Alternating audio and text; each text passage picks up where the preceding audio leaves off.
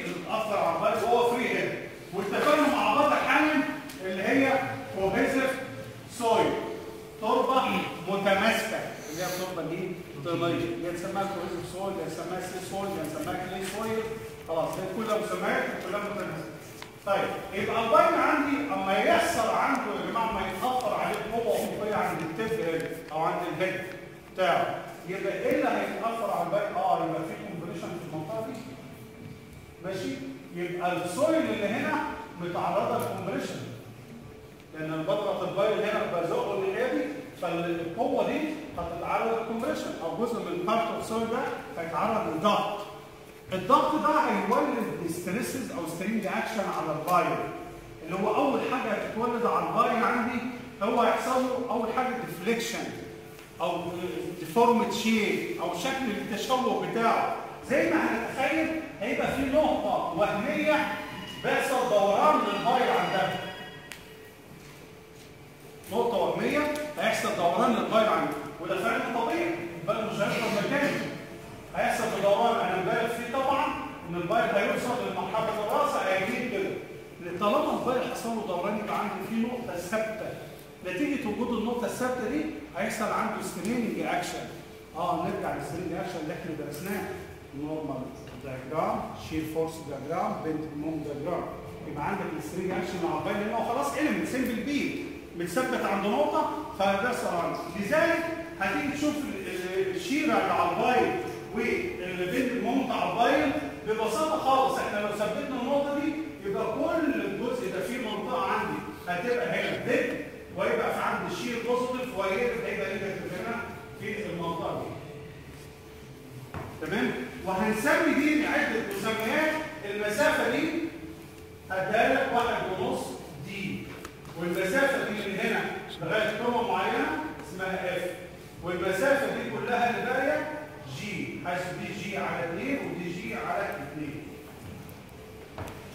مسميات سمينا F و G يبقى عشان ارسم ال force ال shear force diagram أنا محتاج ال F ومحتاج ال G تمام؟ ونفس القصة ال moment. ال D هو إيه؟ ده ال diameter يبقى D واحد مره ونص الحتة الفاضيه اللي هي فيها zero shear مفيش فيها shear خالص بتبقى مره ونص ال diameter of pile. عند المسافة دي والمسافة دي دي حددناها F بناء على القمه دي المسافة F دي إيه؟ اللي هيحصل عندها ال maximum moment يعني لو درسنا كده الاقي ال moment هيزيد يزيد يزيد عند F ويرجع يقل يبقى عند القمه دي ده ال maximum moment ماشي؟ أنا المفروض أسأل حضرتك إن أنت تحسب لي ال shear وتحسب ال moment بس لا إحنا هنريحك توفيرا لوقتك فهدي لك شكل الشير والمومنت معتمد على البارامتر اف وجي اف ودي وجي مسافات. سماها ال وال سماها حسن وحسين هو اسمها. إنما في مسافة هنا رأسية ومسافة رأسية. فأنا هدي لك معادلات امبيريكال ده اللي عملها آه الأخ برامز بدأ يدي لك المعادلات امبيريكال بحيث أنت تطلع الجي والاف اوتوماتيك يبقى اوريدي عشان أقدر أصمم وأحسب القوة الفقرية. أنا محتاج أرسم الشير ومحتاج أرسم إيه؟ ال moment تمام؟ فأنت مش هترسم لا ده عشان ما حدش يتحط ف already has been given all the برو يبقى عندي هنا ده deflection أهو. ده حاله إيه؟ هو حاجة short pile والتربه cohesive و free head اوعى ماشي يبقى اول حاجة cohesive بعد كده دخلت جوه. free head وبعدين الشورت لأن هيبقى بقى ال long والحاجات دي كل حاجة بقى كل حاجة لها ال shear وال moment بتاعها. يبقى أنا عندي أول حاجة. قيمه ال shear 9 Cu في ال D طب قيمه ال shear دي هنا حضرتك كام؟ آه ماشي. 9 Cu في ال D ماشي؟ ده قيمه ال shear Cu هي إيه؟ ال undrained cohesion ال D هو ال pile ده يبقى أنا كده جبت قيمه ال shear طب ما تيجي مع بعض كده يا شباب نعرف F و G عشان يبقى رسمتنا كاملة أنا في الأول والاخر خد بالك ال title بتاعي عايز أجيب إيه؟ ultimate horizontal load عشان اقسمها على factor safety هجيب allowable horizontal load تمام؟ يبقى أنا أول حاجة محتاج أجيب الشي ال F وال G هاجي هنا مع حضرتك هنا المعادله ببساطه خالص هنا أنا عارف طبعا ال maximum moment بيحصل فين؟ عند واحد ونص D زي ال F اللي إحنا قايلينها دلوقتي.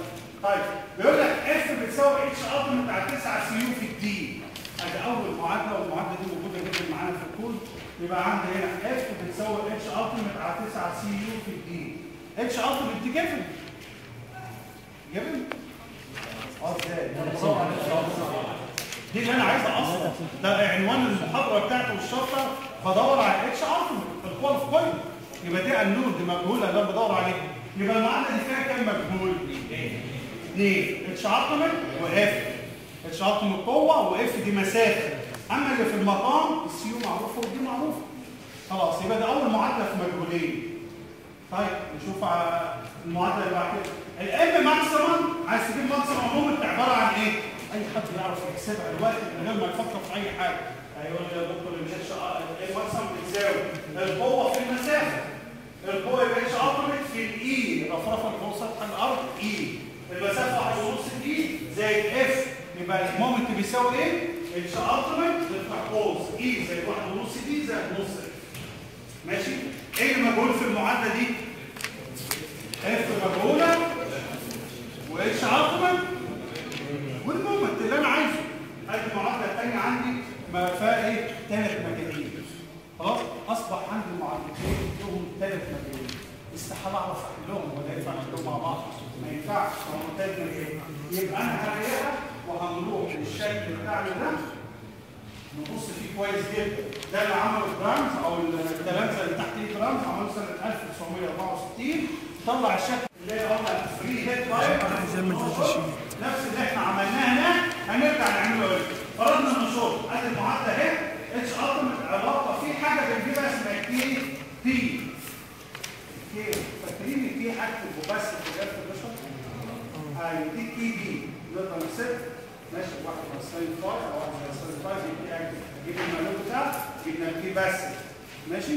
يبقى حسبنا الكي بس بتسهل نحسبها مش فيها مشكله اللي هو واحد سلايد فاي على واحد على سلايد فاي أو واحد على كي اكتب مقلوب الكي اكتب طيب يبقى المعادله اللي فيها ال الاي ماشي وفيها الاتش التيميت فيها مجهولين حيث ال فطول البايت ماشي والمعادلة الثانية هي مع اتش التيميت 3 على 2 ضمه في دي في بس في f برضه ال f مجهوله وفيها ال H ultimate المعادلة 9 و10 دول هم شبه